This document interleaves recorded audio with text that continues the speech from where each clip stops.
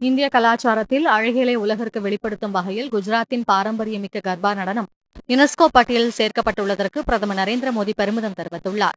இதுகுறித்து அவர் வெளியிட்டுள்ள எக்ஸ் சமூக வலைதள பதிவில் கர்பா நடனம் வாழ்க்கையின் கொண்டாட்டமாக இருக்கிறது என்று குறிப்பிட்டுள்ளார். மேலும் நமது பாரம்பரிய கலாச்சாரத்தில் வேரூன்றி இருக்கிறது என்றும் அவர் தெரிவித்துள்ளார். உத்தராகண்ட் மாநிலம் டேராடூனில் நடைபெறவுள்ள இரண்டாயிரத்தி இருபத்தி மூன்றாம் ஆண்டின் உலக முதலீட்டாளர்கள் மாநாட்டை பிரதமர் நரேந்திர மோடி தொடங்கி வைக்கிறார். டேராடூனில் உள்ள வன ஆராய்ச்சி நிறுவனத்தின் இரண்டாயிரத்தி இருபத்தி மூன்று உத்தராகண்ட் உலக முதலீட்டாளர்கள் மாநாடு நாளை நடைபெறவுள்ளது. இரண்டு நாட்கள் நடைபெறும் இந்த மாநாடு அமைதியிலிருந்து செழிப்புக்கு என்ற தலைப்பில் நடக்கவுள்ளது. இந்த மாநாட்டில் உலகம் முழுவதிலுமிருந்து ஆயிரக்கணக்கான முதலீட்டாளர்கள் மற்றும் தொழில்துறை பிரதிநிதிகள் பங்கேற்க உள்ளனர். ஜம்மு காஷ்மீர் மறு ஒருங்கிணைப்பு திருத்த சட்ட மசோதா மற்றும் ஜம்மு காஷ்மீர் இடஒதுக்கீடு திருத்த சட்ட மசோதா ஆகியவை மக்களவையில் நிறைவேற்றப்பட்டது. இரண்டு மசோதாக்கள் மீது பேசிய உள்துறை அமைச்சர் அமித்ஷா இந்தியாவின் முதலாவது பிரதமரின் இரண்டு தவறுகளால் தான் காஷ்மீர் மக்கள் பெரிதும் பாதிக்கப்பட்டதாக குறிப்பிட்டார். எட்டாவது இந்தியா சுரினம் இணை ஆணைய கூட்டம் பலன் சார்ந்த வகையில் நடைபெற்றதாக வெளியுறவுத்துறை அமைச்சர் ஜெய்சங்கர் தெரிவித்துள்ளார்.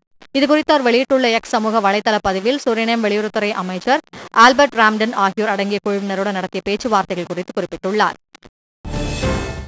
கனமழை காரணமாக மின் நுகர்வோருக்கு ஏற்பட்டுள்ள இடர்பாடுகளை கருத்தில் கொண்டு மின் கட்டணத்தை அபராதம் என்று செலுத்துவதற்கு கால நீட்டிப்பை தமிழக அரசு வழங்கியுள்ளது.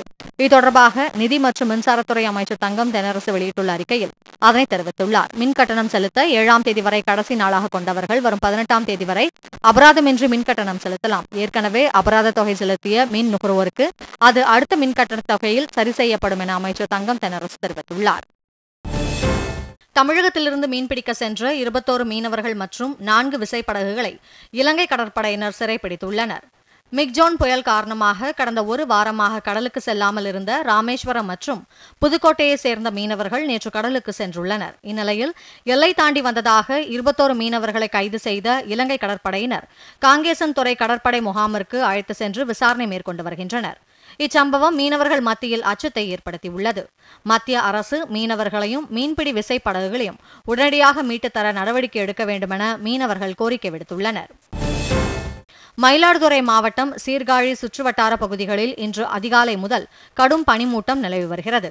சீர்காழி கொள்ளிடம் வைத்தீஸ்வரன் கோவில் திருவெண்காடு பூம்புகார் சுற்றுவட்டார பகுதிகளில் அதிகாலை முதல் கடும் பனிப்பொழிவு நிலவுவதால் முகப்பு விளக்குகளை எரியவிட்டபடி வாகன ஓட்டிகள் செல்கின்றனர். இதேபோல் தருமபுரி மாவட்டம் நல்லம்பள்ளி சுற்றுவட்டார பகுதிகளில் கடுமையான பனிப்பொழிவு மற்றும் குளிர் நிலவியது. பெங்களூர் சேலம் தேசிய நெடுஞ்சாலையில் முன்னால் செல்லும் ஆட்கள் தெரியாத அளவிற்கு மூடு பணி நிலவியது. அதியமான் கோட்டை தொப்பூர் நல்லம்பள்ளி உள்ளிட்ட பல்வேறு பகுதிகளில் கடும் பனிப்பொழிவு ஏற்பட்டது. இதனால் சாலையில் வரும் வாகனங்கள் முகப்பு விளக்குகளை எரியவிட்டவாறு சென்றன.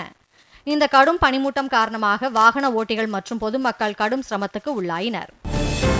அசாம் மாநிலத்தில் இன்று அதிகாலை லேசான நிலநடுக்கம் ஏற்பட்டது. அதிகாலை ஐந்து நாற்பத்தி இரண்டு மணி அளவில் இந்த நிலநடுக்கம் ஏற்பட்டதாகவும் மூன்று புள்ளி ஐந்து என்ற ரிக்டர் அளவில் பதிவானதாகவும் தேசிய நிலநடுக்கவியல் மையம் தெரிவித்துள்ளது.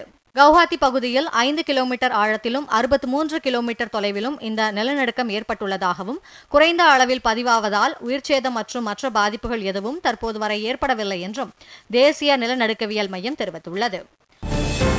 புவனேஸ்வர் ஹவுரா ஜன் சதாப்தி விரைவு ரயிலில் இன்று அதிகாலை திடீர் தீ விபத்து ஏற்பட்டதால் பரபரப்பு ஏற்பட்டது. ஒடிசா மாநிலம் கட்டாக் ரயில் நிலையத்தில் இன்று காலை இந்த தீ விபத்து ஏற்பட்டது. ரயில் பெட்டியின் பிரேக் ஷூவில் இருந்து புகை வெளியேறியதை அடுத்து தீ பரவியது. இதுகுறித்து தகவல் கிடைத்ததும் சம்பவ இடத்திற்கு விரைந்து வந்த ரயில்வே அதிகாரிகள் தீயை கட்டுக்குள் கொண்டு வந்தனர். எனினும் தீ பிடித்ததற்கான காரணம் இன்னும் கண்டறியப்படவில்லை. இதையடுத்து ரயில் மீண்டும் தனது பயணத்தை தொடங்கியது. அமெரிக்காவின் லாஸ் வெகாஸில் உள்ள பல்கலைக்கழகத்தில் நிகழ்ந்த துப்பாக்கிச்சூடு சம்பவத்தில் மூன்று பேர் கொல்லப்பட்டனர். லாஸ் வெகாஸில் உள்ள நெவேடா பல்கலைக்கழக வளாகத்தில் புகுந்த மர்ம நபர் ஒருவர் துப்பாக்கியால் சுட்டதில் மூன்று பேர் உயிரிழந்தனர். ஒருவர் காயமடைந்துள்ளார். துப்பாக்கியால் சுட்ட நபர் குறித்து காவல்துறையினர் விசாரணை மேற்கொண்டுள்ளனர். இந்தியாவுக்கு எதிரான முதலாவது இருபது ஓவர் கிரிக்கெட் போட்டியில் இங்கிலாந்து மகளிர் அணி முப்பத்தி எட்டு ரன் வித்தியாசத்தில் வெற்றி பெற்றுள்ளது. தமிழகம் மற்றும் புதுச்சேரியில் ஓரிரு இடங்களில் லேசானது முதல் மிதமான மழை பெய்யக்கூடும் என்று சென்னை வானிலை ஆய்வு மையம் அறிவித்துள்ளது.